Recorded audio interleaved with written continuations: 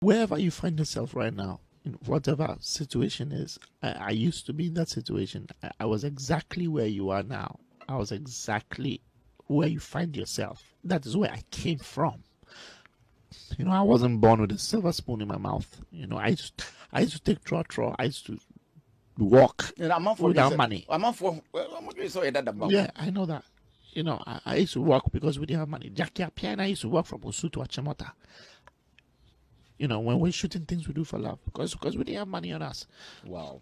You know, and um, um, um, wherever you find yourself, uh, we used to be there ourselves. You know, but but but you, you have to wake up knowing in your head that God is with you. Even if you don't know God, God knows you. And it has nothing to do with you. I love that. If even if you don't know God, God no. God knows you. God knows you very Deep. well. God Very knows you. God, God knows you. And without your knowledge about Him, uh, it doesn't stop Him from being God. You know, um, you yourself don't know how you came about. You yourself don't know why you are here. When you were five years old, six years old, it was by no choice of yours.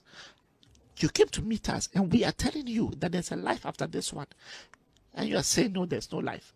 Uh, Even this life you are living it, you are living a life now. And we are telling you there's a life after this life. You're telling us there's no life after this one. How about this one you're living? Who told you you were coming to this one? You know, wake up knowing in your mind.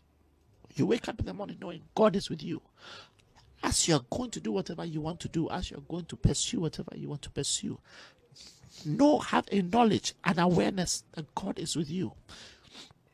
And and, and besides that, you, you see, um, um, when you wake up and you're on social media, it, it takes two things. It's either you are stuck on it watching other people, or you are being motivated by what you're watching to go and do yours as well.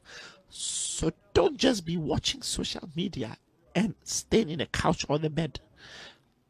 Get up and at least do your video. Do a Make video. use of it. Do a video we can watch you on. So we'll also get to watch you on it. But some people usually just watch social media and go into depression.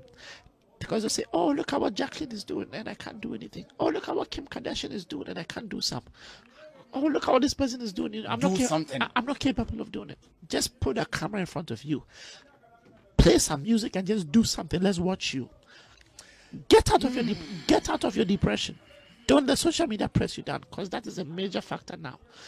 Every other every other thing is no longer a factor. Social media is not a factor that either makes or breaks you. But we want to see you in front of the camera. So wake up, do a video, and